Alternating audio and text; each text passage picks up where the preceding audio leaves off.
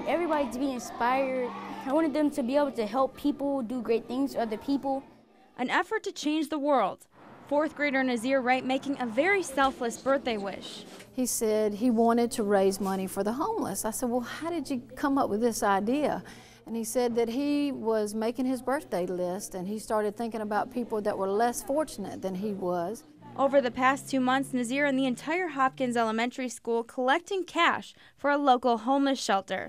We have $1,600 going to the Family Shelter of Columbia. Nazir teaming up with the school's parent teacher organization and other staff to get the entire school involved. We had these activities. There was a hat day. You pay a dollar to wear a hat.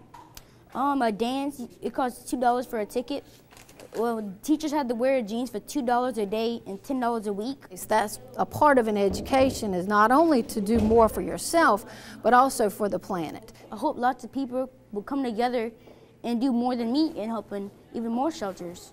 A wish one little boy hopes others will make to help those in need. In Columbia, Shelly Domchek, WACH Fox News.